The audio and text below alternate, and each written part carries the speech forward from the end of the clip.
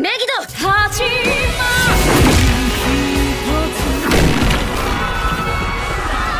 Nice.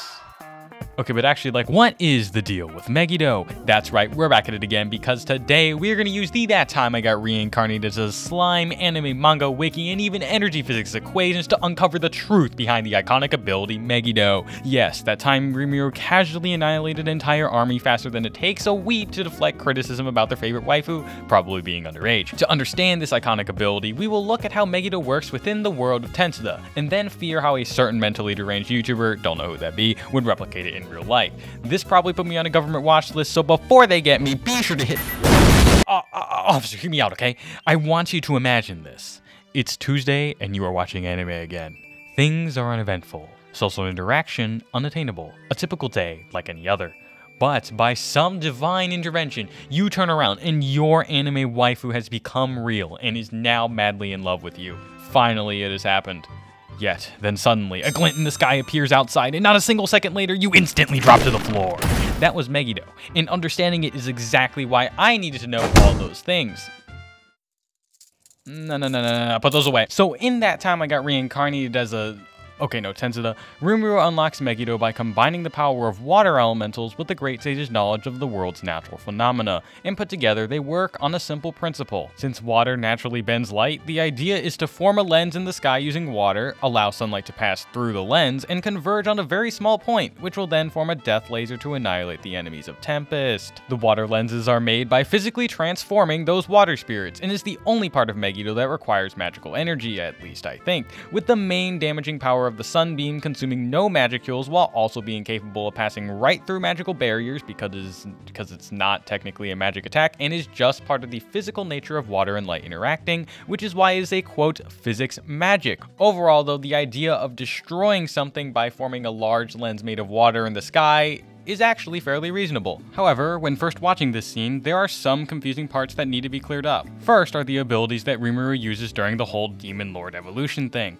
Megiddo is the ability that Rimuru uses to take down the army, but has nothing to do with the capturing of their souls required to become Demon Lord, which was done by his other ability, Merciless, i.e. the giant skull in the sky seizing human souls, implying that Megiddo just happened to be the most epic way to get those souls out ready for collecting. So Rimuru may have just canonically canonically picked it because it was more epic, but that's just a theory. Second is that you may have thought Megiddo was shooting superheated water or some kind of slime fluid, and maybe that the giant lenses in the sky just heated the water, or maybe you just decided to enjoy an action comedy anime about an overpowered slime without thinking about it too hard. Whatever the case, it's not really clear that it's supposed to be light since the sound effect that is used literally sounds like water, and if it actually was a light beam, then it really doesn't make sense why it would show up on screen at all since light from an object object is only seen when it is scattering away from said object. To explain why we do see it in the anime, it's probably like when anime characters go invisible. They obviously can't actually be invisible on screen since that would defeat the whole point of them being there, and this is just the same thing. It did almost make this video about how to superheat water though, but if you were worried about that, don't, it's worse. Now that we have a better idea of how Megiddo works with in Tensura, we can break it down into the two main things that need to happen for this to work in real life to terrify level 1 normies, which is to get the light from the sun into a beam that hits in the right place, and then getting enough energy in that light beam to destroy stuff. We start from the beginning with the sun and light coming from space. Assuming that the sun intensity is the same as the one on Earth, then we can use a, what is known as the solar constant, which is the amount of power that sunlight hitting the upper atmosphere holds, around 1380 watts per square meter. Since Rimuru also used Megiddo near the surface, that constant gets lower to about 1000 watts per square meter as some of the energy is reflected and absorbed by the atmosphere. This light then hits the giant water lens in the sky, and the area of this lens multiplied by the solar constant is the amount of power that we we can put in this sunbeam. Just like burning a paper printout of your homework on a sunny day with a magnifying glass, a larger one means better fire-based tomfoolery because that bigger lens in said magnifying glass can converge more light to a single point than a small one can. Assuming that you've gone outside before. Even putting that aside, it would still be extremely difficult to get a lens to bend light so close that it seems to almost come right out of the lens itself as it is shown. However, considering that we already established that the visuals in the anime can't possibly be 100% accurate, then by adding another very small water construct under each lens that is another small lens of equal focusing power, then since lenses of the same power cancel each other out, we get the parallel rays we want in the exiting light beam. Moving on to actually putting the beam in the right spot, the Great Sage these water ball construct things to redirect Megiddo's power. Therefore, we can use Snell's law, which relates the entering angle and exiting angle of light through different media. We can see that it is possible to get a near 90 degree bend total bend through the water construct like we see in the anime, although it would likely cause an increase in lost energy due to reflection, at least based on my degree in Google. Another consideration is the energy absorption of the water ball, which would increase as the constructs get larger because it is largely a function of how much water is in the way. If the construct has a 1 centimeter radius and therefore around a 2 centimeter path length, we can compare this Wikipedia graph of the frequencies of solar radiation with the absorption frequencies of water, do some really bad approximation by sectioning off parts of the frequency spectrum, and get 83% energy transmittance rate, with the most energy lost in the ultraviolet and infrared spectrum. This isn't really a problem though, because if you have been outside within the past ever, you would notice that water is clear, which clearly indicates that visible light generally passes through water, which is good because we want that to get higher so Megiddo death ray redirection can happen without losing all the required energy. So, it is possible to aim Megiddo like Rimuru does, but next we must ask where to aim. Looking at the anime, we see this beam mainly travel through the skull and out the other side, as well as through armor through tens and basically anything. While anything passing through the skull and brain generally is not a very good choice for personal health, the specific part of the brain matters. For Megiddo, creating a hole that is as small as possible is important, since this reduces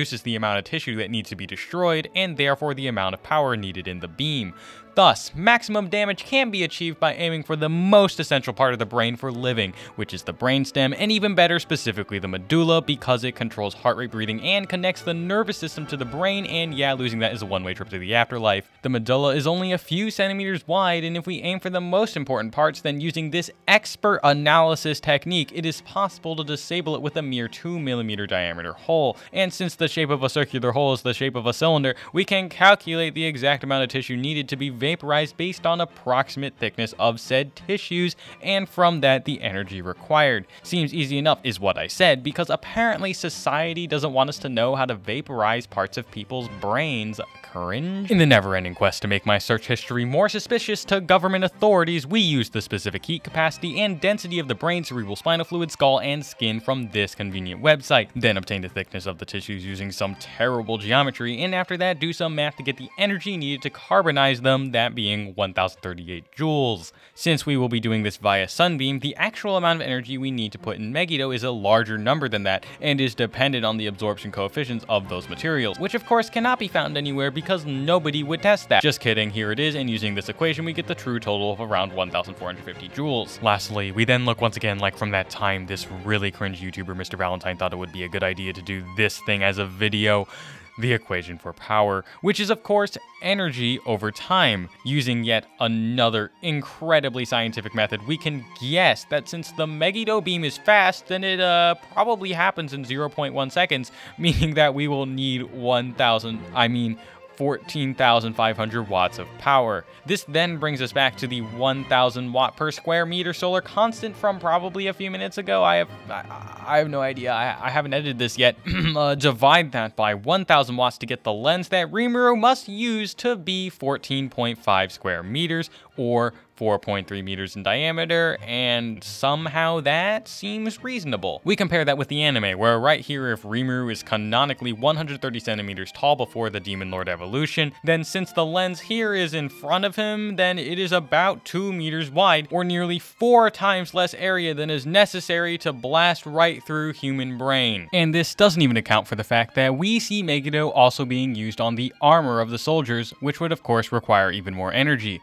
Assuming that the armor is is made of iron or something like that and is the thickness of average plate armor, then it would take between a 3 and 5 meter wide lens to vaporize just the armor.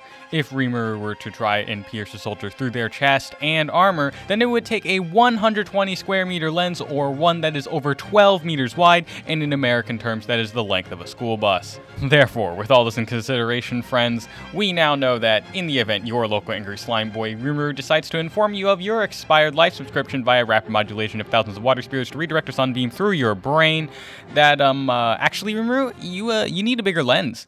But uh, I'm gonna tell you a secret, okay? Having made it so far in this video, it has now come to my attention that Angry Slime Boy is just an anime character, and is in fact not planning to raid your house after using Megiddo. It is simply a work of fiction, and magical slimes are not real. Yet, while that may be so, it is human nature to wish for what we do not have, to reach ever closer to performing feats previously thought to be impossible miracles. After all, science is just magic that works, so do not give up hope. Maybe one day, when we finally reach the pinnacle of science and human ingenuity, the peak of thousands of years of innovation and toil, we will finally use the magical power of unhinged scientific discovery to recreate Megiddo and all the anime cat girls and androgynous reincarnated magic wielding slimes that we should desire desire. And that, officer, is why you should open the door behind you to the gates of scientific innovation so that you do not miss out on the revolution, so that you too can wield the power of Megiddo and maybe get so addicted to anime that you forget the real reason why I'm here, which is, of course, committing the real crime that is being an anime YouTuber. Hello. It is I, who did an unreasonable amount of math and research for this video, so uh, if for for whatever ungodly reason you need that, it, it is in the description. At least it should be. If, if it isn't, you, you can tell me. Uh, also, the upload schedule is uh, kind of kind of bad. It's a mess right now. I'm working on it, but hopefully no more two, three month gaps in uploads. Okay, let's go. Okay, we're gonna we're gonna be fixing that. It's crazy. Uh, been touching grass outside in the you guessed it new Zelda game. That that also put a damper on the upload schedule. So uh, but I hope you enjoyed this video. Be sure to leave a comment and even possibly subscribe. And I will see you in the next video. that was terrible. Anyways, uh, I'm gonna I'm gonna buy another Elena figure. See ya. Yep, I'm out.